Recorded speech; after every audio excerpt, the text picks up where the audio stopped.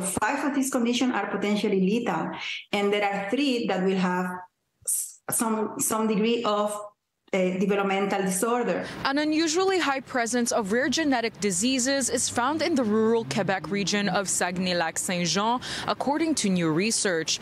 Doctors began studying the case after seeing an increasing number of French-Canadian families carrying the diseases compared to the rest of the world. The variant that we are describing that seems to be found there for Saguenay population has not been seen in any other population, not at all seen anywhere in the world. And then for us, is so frequent as 1 in 32. Researchers say the founder effect is most likely the explanation for why many French Canadians in Saguenay are carriers to 12 rare genetic diseases. The carriers share one thing in common ancestors who carried the recessive genes to the same diseases and migrated to the region. This does not mean that they are blood related, as no consanguinity was found from the 1,000 DNA samples studied in this research when the region is isolated so there is less contribution to from other population to the genetic background so which would dilute this first founder effect related to this disease. We really really have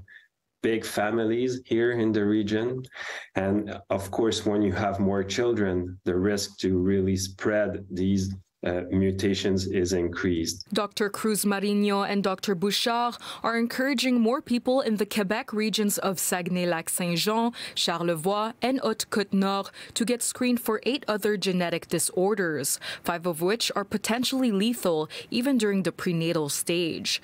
In Montreal, Diona Macalinga, City News.